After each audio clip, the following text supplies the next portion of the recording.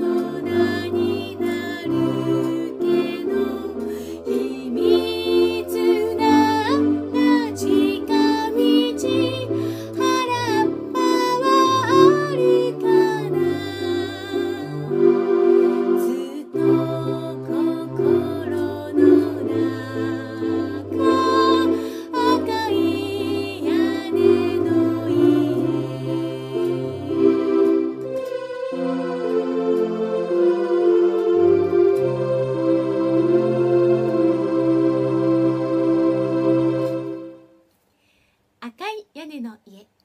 作詞が小田百合子さん。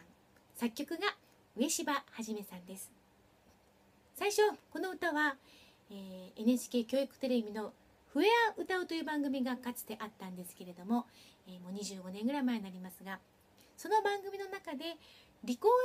ダーの練習曲として最初作られたのだそうです。その後詩が付けられて「ワンツードン」という番組の中で初めて「赤い屋根の家」という曲として歌が紹介されたんだそうです、えーこの歌は小学校でも教科書に載ったりしてますので、えー知ってる人もね多いんではないかなと思います。自分が住んでいたお家が赤い屋根だったのがだんだんビルができてきて見えなくなってきてしまったんだけれどもでも心の中にはいつまでもあの時の思い出いろんな思い出が思い出が残ってるっていうちょっとね。胸がキュンとするような、えーとても素敵な、えー三拍子の歌でね、えー幼稚園の子どもたち保育園の子どもたちもこれこの歌が大好きなんですよね。童謡という部類というか、まあ、子どもの歌ということで今日は、えーご紹介したくてご紹介しました。作曲の上柴はじめさんは私の高校の、母校のですね大大大先輩にあたる方でても素敵な曲をたくさん作られている方です。また上柴さんの曲もご紹介したりしたいと思います。今日の童謡の時間は赤い屋根の家という子供の歌をご紹介しました。